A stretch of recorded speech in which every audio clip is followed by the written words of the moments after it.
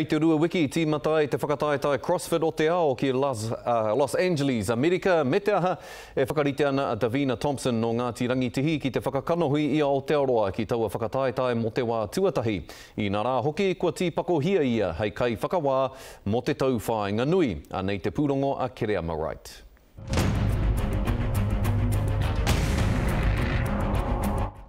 He taumāhekeheke e kitea ai te kirikawa ki te whakapakari tinana, ā, mō te wā tuatahi ka whakawāhia e tētahi nō Aotearoa. You're judging the world's finest. I always wanted to go there as an athlete but I'll never make it as an athlete so I thought oh the next best thing is to judge. He mātanga whakapakari tinana a Davina Thompson kua aua atu e whakaako ana i te tākaro nei ki te hunga hiakai, koia hoki te pūtake o tana tuku tono kia whakawā ia i te keokeonga o te tākaro. For me is to go there and learn as much as I can, um be exposed with the best of the best and then bring it home and deliver it to to our people, especially our Māori people.